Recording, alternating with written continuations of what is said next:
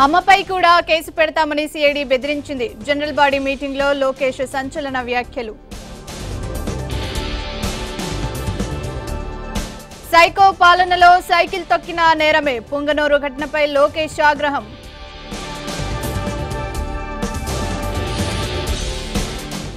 November ఒకటి నుంచి బాబు surety సర్వసభ్య సమావేశంలో తీర్మానం.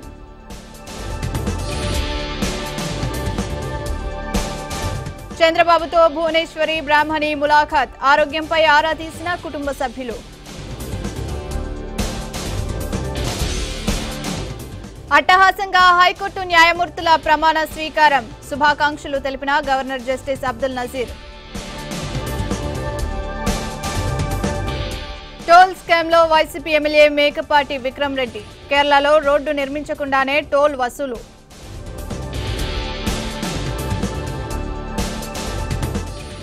అవనిగడ్డలో కొనసాగుతున్న ఉద్రిక్తత బంద్కు అనుమతి లేదంటూ పోలీసుల బెదిరింపులు.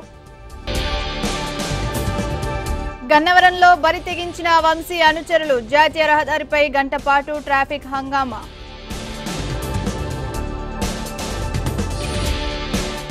తెలంగాణ ఎన్నికల్లో సంచలనం కాంగ్రెస్ దే హవా అంటున్న సర్వే రిపోర్టులు.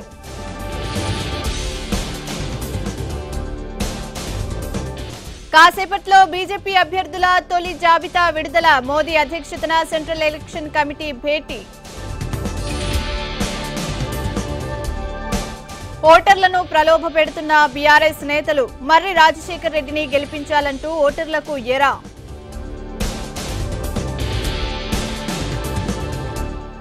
కామారెడ్డి కథ వేరే ఉందన్న కేసీఆర్. ఈటెల పోటీ ప్రకటనతో గజ్వెల్లో మారుతున్న లెక్కలు.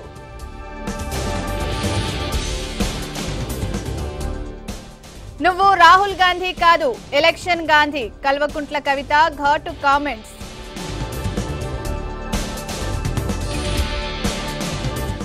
తెలంగాణలో జనసేనతో బీజేపీ పొత్తు దాదాపు ఖరారు. ఏడు నుంచి పది సీట్ల వరకు జనసేనకు కేటాయించే అవకాశం.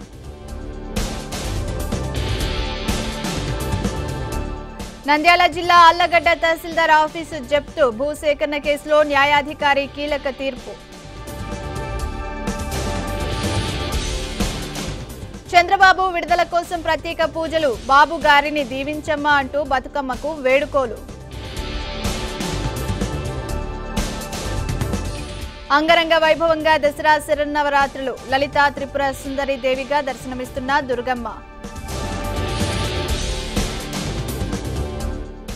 గగన్యాన్ టెస్ట్ వెహికల్ ప్రయోగం విజయవంతం. మానవ సహిత రాకెట్ ప్రయోగాలే లక్ష్యంగా టెస్ట్ లాంచ్. ప్రపంచ కప్లో నేడు మరో కీలక మ్యాచ్ మూడో స్థానం కోసం సౌత్ ఆఫ్రికాతో ఇంగ్లాండ్ పోటీ.